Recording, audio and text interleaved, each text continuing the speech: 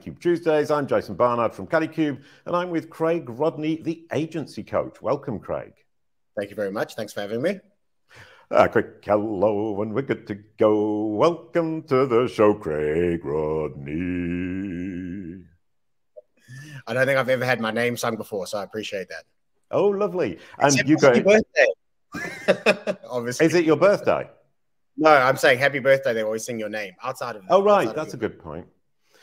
Yeah, sorry, I interrupted you, but yeah, I can sing a happy birthday. Happy birthday to you. Happy birthday to you. Happy birthday, Craig Rodney. Happy you know, birthday you know, to you. Joke. You know the joke where they say, like, no matter what your name is, I can sing a song for you, and that's the. You just go happy birthday, yeah.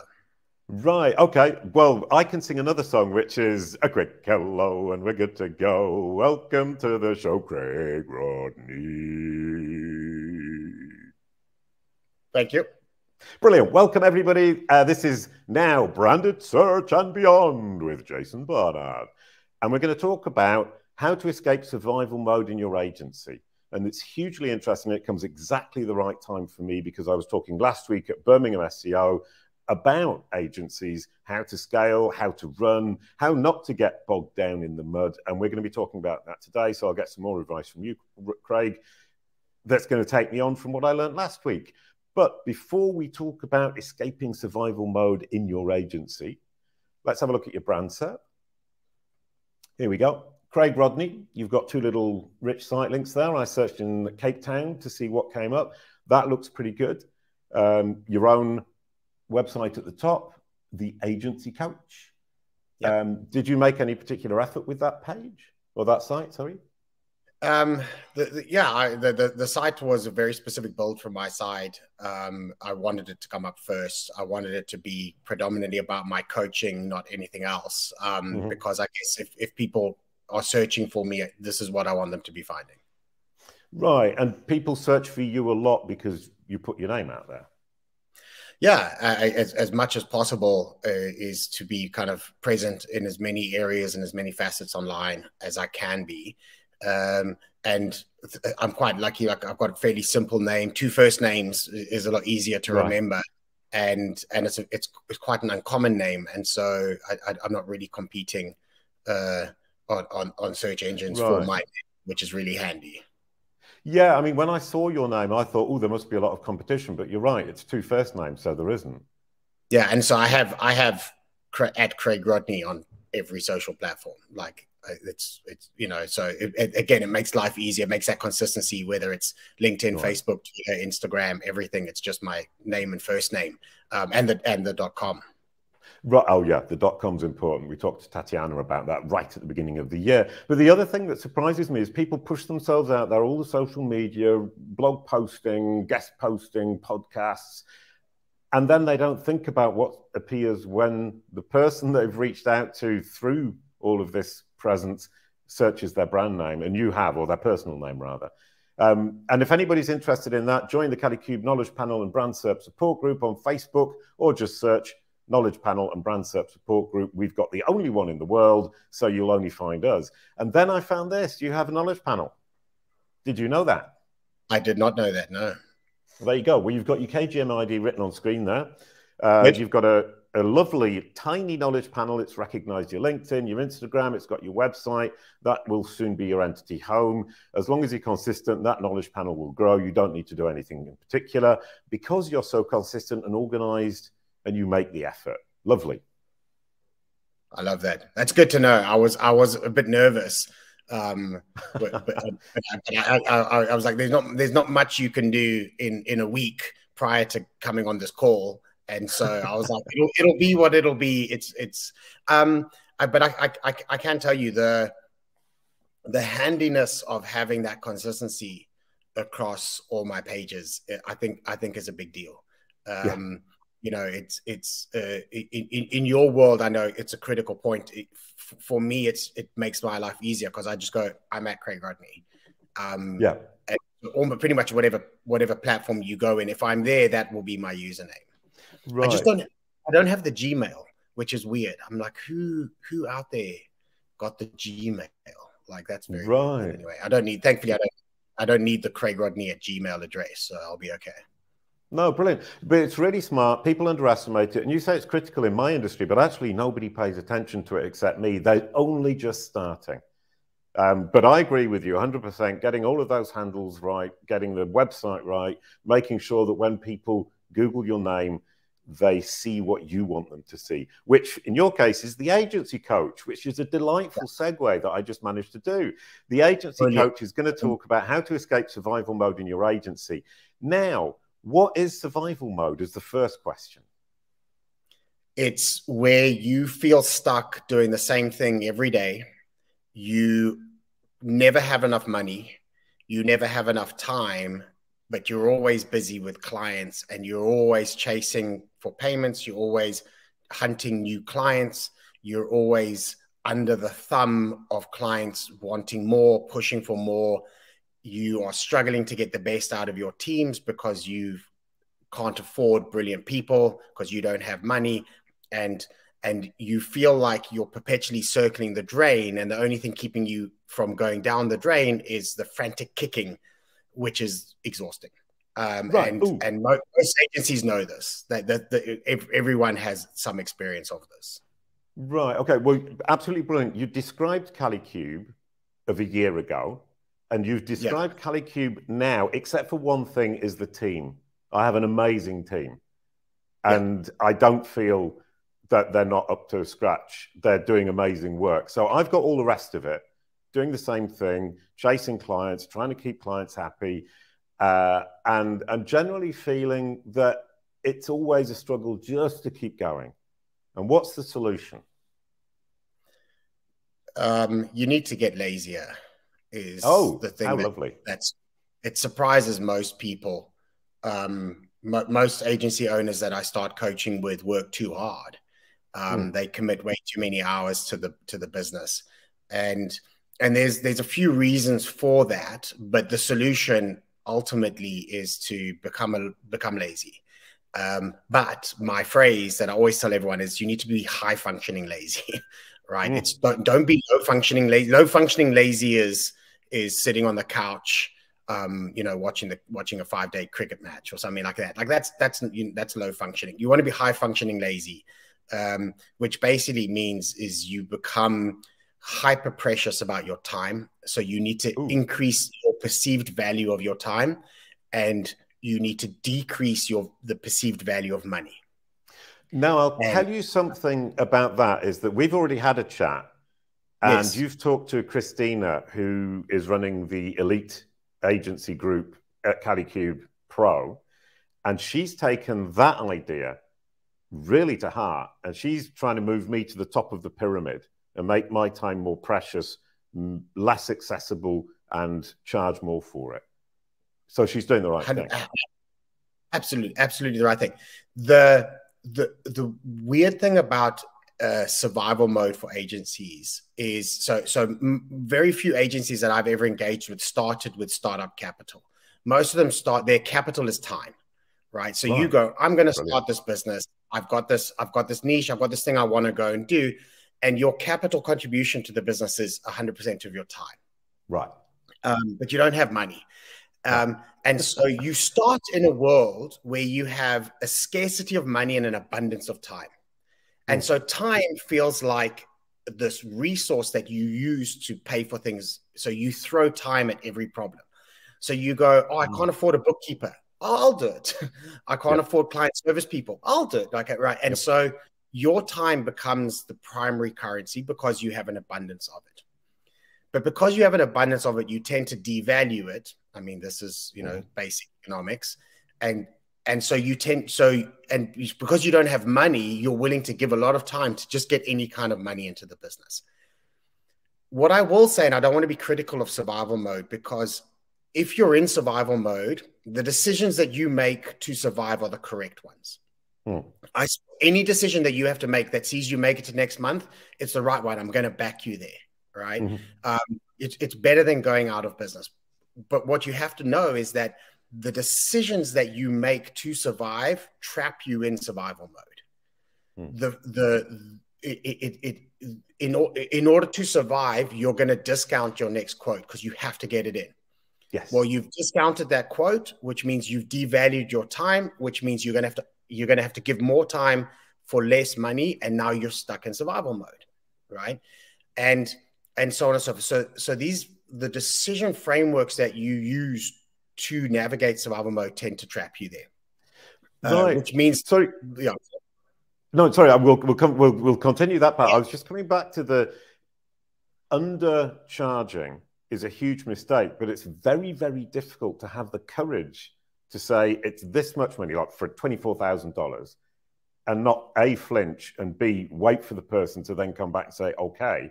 You're immediately saying, but I'll give you a discount because you're so desperate yeah. to sign. And I was talking to a friend of mine, Mariana, about this, and she's trying to move towards less survival mode. And that's her big struggle. And it's always been my big struggle. How do you overcome that? Was the question. That wasn't a question until I got to the end there. Yeah. The, the, the, it's not the courage to quote correctly, it's the courage to let them walk. And I hmm. want, I want to make a slight distinction, right? because actually sending a quote for a high amount, it it the fear is not sending a quote with a high number on it. The fear is that they say no and you don't right. get a second bite at that apple, right? And and that fear is going, well, if we don't have this client, how are we going to survive?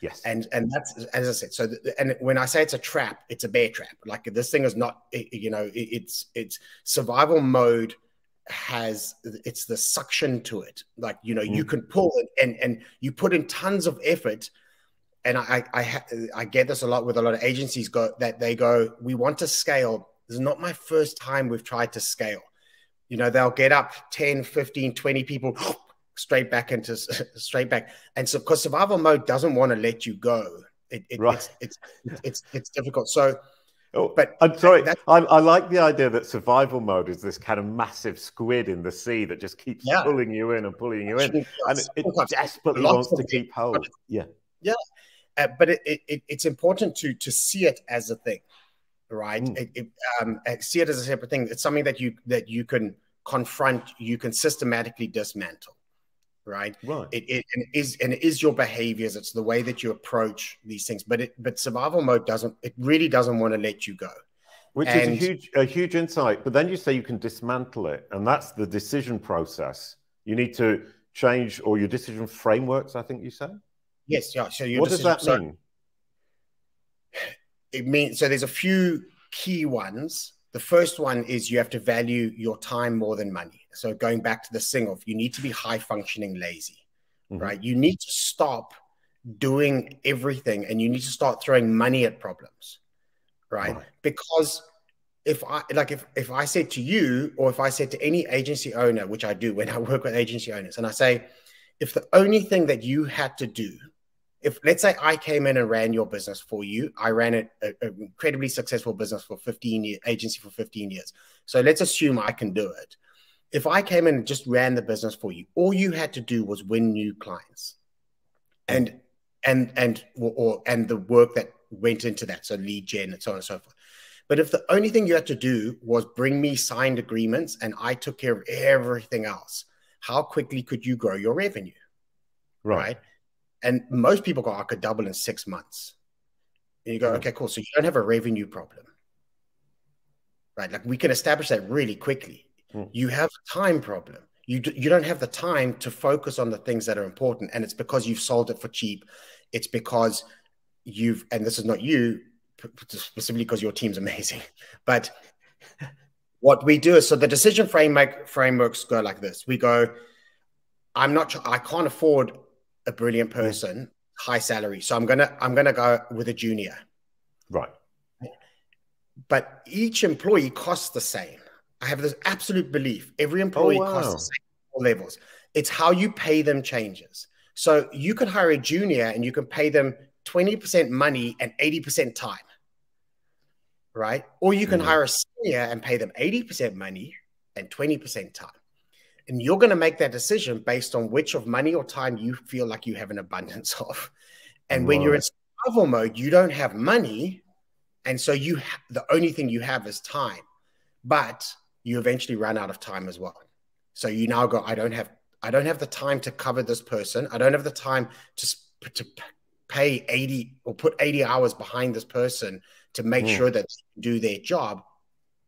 And that's when bad work starts happening. And when bad work starts happening, then you have to do it three times. And when you're doing it three times now, everyone's working nights and weekends, your client's still not happy. And now they start questioning your already discounted rate. Okay. And so we get, and that's that spiral. That's where we're going. We're circling the drain here. Right. And you, oh, I like circling the drain. How lovely. You said three times. Why three? Because I would have thought it'd be them and then me. But you're saying three times that I do the work three times. Oh, sorry. I'm saying, I was saying, like, if you do, if you submit average work to a client, they're going to send it back. So Good point. So that's the third. Brilliant. You're going to have to keep, you're going to have to keep retrying to do work. Whereas if you just got it right the first time using the right people with the correct amount of time and the correct, but so as I said, it's the the you, the this downward spiral in an agency can get triggered from anywhere, but it is all based in the same principle that in survival mode, you when you start an agency, you have time, no money, so you mm. throw time at every problem. Right. And in order to escape survival mode, you have to recognize that your time is is critical. That you could if you stopped doing everything else and just focused on revenue, you could win enough clients to be able to get money going. But mm. you have to detach yourself from all the other uses of your time. So it's not just to drop everything. There's it's right. It's no, this is absolutely beautiful because I'm right in the middle of this process. I went to see a friend of mine, David Bain, who's a podcaster too, and he sat me down at his house. He gave me a beer and said, "You're an idiot." Yeah. You should be rich. You should be making a lot of money. You've got an amazing concept. You're the only person in the world doing it. You've built a platform that does it automatically. You can optimize brand on search. No problem at all. As we say in France, fingers in the nose is what we say for when it's really simple. You yeah. need to sit down and become the salesperson for two years, move all the other work to other people, and just sell for two years to build the business. And you need what he was saying effect, in effect was make the money to be able to pay the people to do the things that you're currently doing and in two years time you're going to be flying. And it's it, i think it's not quite the same as what you're saying but it's not very far away. It's he was saying I would, get out of survival mode. imagine he's saying that we, we're talking exactly the same thing. We're right, saying in slightly, slightly different ways. Um, the truth is is is is you go if you're doing your books well, are you the best person to do this? No, no. that's not. That's, so that's, that's high functioning laziness. It's like, and, and, in my life, I only do the things that right. only I can do. That's it. That's my rule. If I'm the only person who can do this, that's the only thing that I do. Right. Or I'm the best I say. The accounts is brilliant because it's it's the last well, not the last thing, it's the last thing I just got rid of. And I've given it to Modric and he's doing it. And he writes to me and basically says, keep your hands off and that's brilliant yes. because he's bullying me to stop getting involved because I shouldn't be doing that. Yeah. You what you need to do is you need to you need to have enough insight and control to ensure that Modric's doing their job correctly. Yep. But you don't do the you so I always say like being responsible for something and it being your job are two different things. You mm. will continue to be responsible for everything in your business, mm. but it's not your job the example I give is I'm responsible for my children's education, but teaching them is not my job. That's the school. Uh, mm. I choose the school. I make sure their teachers are good. I check their results. I make decisions around extra lessons, etc., etc. I'm I am responsible for them becoming well-educated adults, but it's not my job to teach them. Right? It's my responsibility. If you run an agency, if you own an agency, everything is your responsibility but it, it, nothing should be your job. I mean, by the time I left Cerebra, I had nothing to do. I was so good at being lazy that I had nothing to do. I literally, I was like, I've run, like, I hired everything that I used to do. I would go, who's the best person to do right. this? Right. And you go, and then when they, when they show you their salary, you, you want to pass out. You're like, oh, and the number of times my business partner and I were hiring people where we thought like we can't do this. I mean, this this is too much money. Mm. But we all so going back to this decision frameworks. One of the decision frameworks is is stop paying people with time and pay people with money. And that hmm. means that you're hiring people for the clients that you want in the future, not for where you are now. if you hire people who can only handle what you do now, they're not a growth person. They're they're going to hold you here. They're part of that suction. Mm. You go, oh, I wish we could win an enterprise level client. You know, well, yeah, but you're not going to win that client with with this level of skills with these people. Right. I, I just wanted to reiterate I'm responsible for everything, but nothing is my job because I want to remember that one. Yeah. The other question is Does it have layers? I.e., for example, in our team, we have Elisa who runs the Kalicube Pro team. Does she need to have the same approach? I.e., she needs to find people to support her thinking about money and not time. Yeah. So we do things. Well, I, there's a, a phrase I use, and part of my training is around doing cascading waterfalls. Mm. Um, and it's so so it's a, the way you get a cascading waterfall. So a multi-layered waterfall is is the same with responsibility.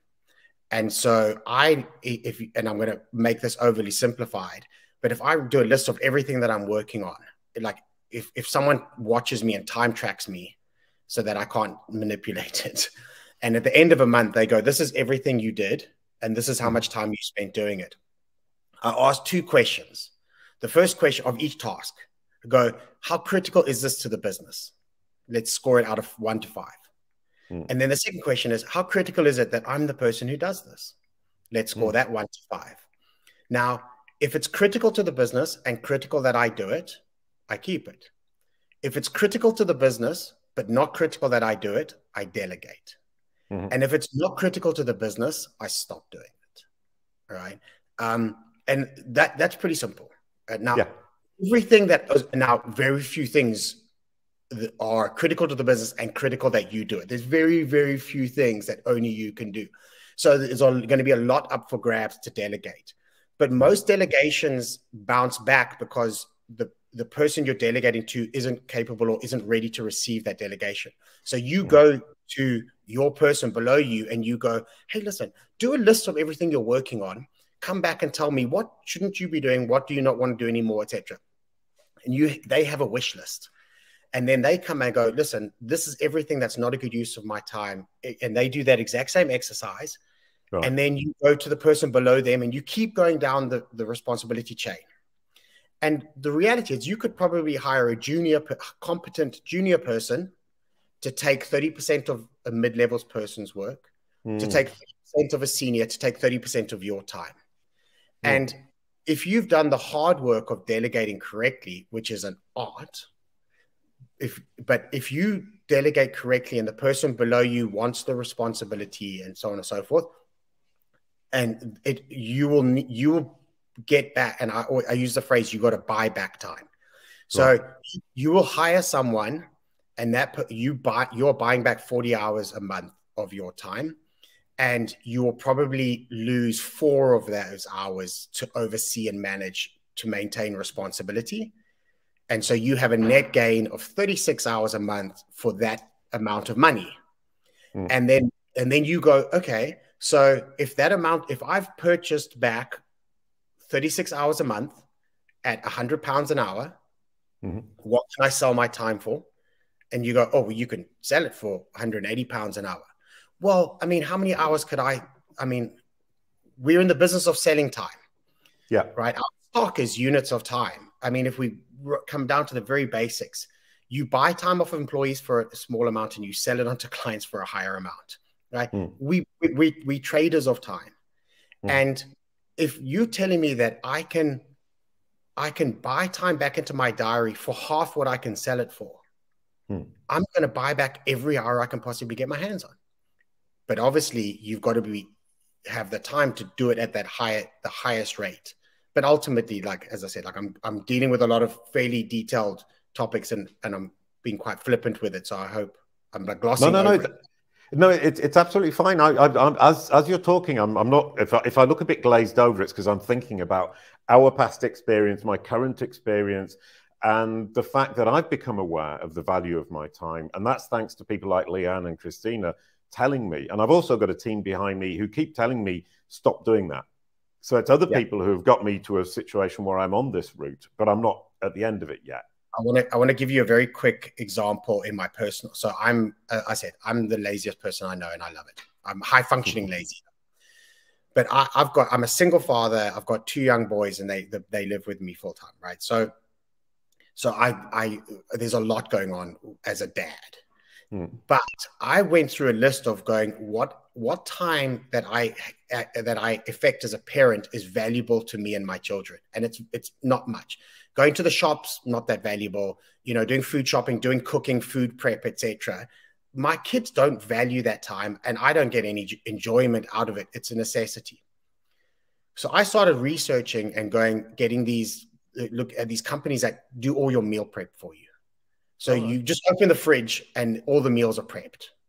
Right now, there's nothing lazier, to be honest. there is nothing lazy. And but if you're trying to eat healthy, it's also really it's a really good strategy because it's just pre-prepped, right? So I went, okay, how much does this cost? And I realized that I, I, can't remember. It was it was something like like like five hundred pounds a month or something hmm. to have to have have all my midweek meals done. And some I remember someone going like, "Oh, look at Mister Richie Rich" type of thing, like you know. And I sat there and I went, "Hang on a second. And I went and looked at the numbers and I said, "I my food bill is let's call it three hundred pounds a month if I do all my shopping, etc. So this is actually only two hundred pounds. The cost, the true cost of this over doing it myself was two hundred pounds." right? How many hours of work is that? Mm. In a, that's two hours. Mm. If I mean, uh, you know, you could do no, no, 100%. two hours. So I'm going. I I can buy back thirty hours, an hour a day of cooking, of of shopping and cooking. I can buy back for two hours of work. So I get a net gain of 28 hours. So you know what I do? I go for walks with my kids. Right. We do puzzles, we do all that kind of stuff. And and as I said, like we if we abstract this from an agency and actually just put it into what's important, which is your life. Like, like I, I spend my life, I go surfing and I go run in the mountains and I spend time with my kids and I do all this amazing things because that's where the value of the time is. And, right. and I use the money that I make charging fair rates for what I do to buy back my time and and and and it it does come down. You're you're about to go like, yeah, you, how do you charge fair rates? no, no, that wasn't the question actually, okay. because my last question before the last question, as it were, yeah. the second to last, the penultimate question, is the kicker: is how do I get the money to pay the people in the first place? Because there's a, a catch twenty two. If I don't have the money in the first place, how do I employ the people who are going to do that 2080 in terms of time and money that you were talking about? this is going to sound painful. Uh, the, that downward spiral that I explained, the circling the drain, it, it can start anywhere. You know, you're doing poor work, you're not making enough money, you can only afford average people, so on and so. That the downward spiral can be kickstarted from anywhere, but the upward spiral can only start in one place, and it is charging correctly, right? And it's terrifying, yeah. and it's not easy. Hmm. But there's a lot of structural work you can do you have to you have to recognize that if your rates are under constant pressure then you're not differentiated enough mm. you you you haven't established enough uh, um, expertise or special specialization in what it is that you do and because you're if you're offering commodity services as an mm. agency then your prices are always going to be under pressure Mm-hmm. But you've chosen that. Like no one else started this business for you. Like you started this, you went into that. Yep. So there, there, are some, and this is interesting because it's uh, you're smiling because I'm giving you your best segue ever. But but this is a segue into doing the things that that separate you, that help you stand out from the crowd, that that give a client the opportunity to look at you in a different league to everyone else. And if a client goes, yeah, there's all these other agencies that can do this in this band, but this team, these people can, they're here. And when you price accordingly, that reaffirms your expertise because price determines value, not value determines price. If you know, no, I know nothing about wine. If Jason, one day you and I will will get to meet in person, and yeah. you'll invite around, and I'll bring a bottle of wine because that's what you do, right? Yeah. But I'm to a bottle store and I don't know, I don't drink alcohol at all. I don't know wines. I'm going to just buy an expensive bottle. Good point. Because an expensive bottle is a good bottle of wine, right? Mm. And an expensive agency must be a good agency. Right. And if you're expensive, you're not going to win every pitch. And you're going to have lots of people telling you that you're too expensive. And you're just going to smile and you go, we're not we're not too expensive, but if your budgets can't afford us yet, like when you are a big company, you can come back, right? Like this is right. not my problem. but I would still rather do less work for better rates than more mm. work for lower rates. And so you might be less busy, but the work you do is at great rates. It's at fair fair rates. It allows you to do brilliant work. Mm. It allows you to surround yourself with highly qualified people. And when you do brilliant work, price becomes less of an issue. A client will mm. only complain about price until the value of the work blows their minds. And then suddenly they're like, sure, I'm so glad we went with this agency. They were they were a bit expensive. We were nervous, but they killed it. They were brilliant, right? Brilliant. And then they recommend you on, and then they say, "Listen, they're not the cheapest, but uh, don't go cheap. don't go cheap here. This is where you right. spend your money." And the upward spiral starts. Right now, I've got some really bad news for anybody thinking about working with Kalicube. Our prices just went up twenty five percent.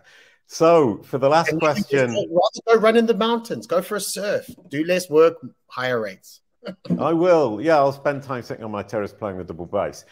So, the last question, as always, on branded search and beyond with Jason Barnard. How can a branded search strategy help an agency escape survival mode? I think I, I think I alluded to my answer yeah. in the lead up to this question. I was amazed when I ran my agency at how many leads we got from search from and big big companies you know this is the likes of coca-cola doing a google search for top social media agencies in south africa mm. and seeing you and finding you there and so i i it, it blew it blew my mind. It is it is such a powerful positioning from an inbound lead perspective. And if you if, if you don't if you aren't strong here if you don't have a strong brand search positioning you're just not going to get those leads. Like people will always just pick the the top uh, you know their top from their search results. Mm. and and so from a lead, inbound lead gen perspective it's absolutely critical but linking back to what i said just now from a pricing and a positioning perspective yep. if you are going to commit to doing the hard work around sticking, charging high rates, still fair, like don't be ridiculous. Mm-hmm. You charge top end rates and you commit yourself to being an agency that monetizes this your specialization that needs to be reflected in every element of your online profile. It it, right. it, it, you you have to warrant that at every turn.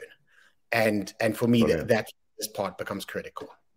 Right. No, I love the idea that if we want to charge premium rates, we need to be premium rate or look premium rate, be what we uh, are presenting at every stage along the journey, including search. And Tonya Eberhardt says it's not just where you show up, it's how you show up. So every yep. time you show up in search, you need to be sure that your brand narrative is being reflected so that the uh, the marketing manager at Coca Cola then chooses to call you. And the brand SERP right at the end, when they search your name just before doing business with you, is the single most important part of that. You need to look premium when your prospects search your brand name, which they will at some point. Absolutely brilliantly.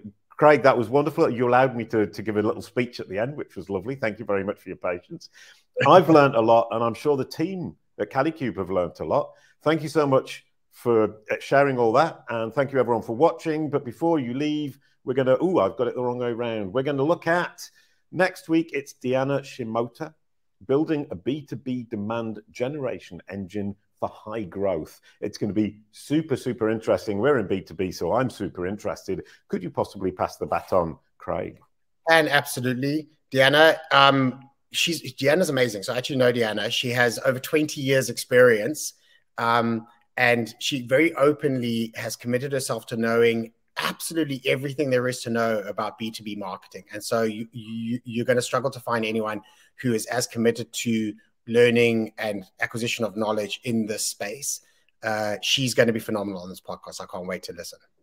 Brilliant. And I love that because I actually don't know anything about her because Maria chooses the guests. And every week we're passing the baton to a guest where I think, I really want to watch that. Yeah. So I'm looking forward to it too. Amazing. This is brilliant. Absolutely amazing. Maria and Marianne, thank you so much for getting all the right guests. Thank you for getting Craig on. And you get the outro song. A quick goodbye to end the show. Thank you, Craig. Jason, thank you very much. Thank you. That was brilliant. Have fun. Oh, hang on. I've just remembered. I'm supposed to do this. Kalicube.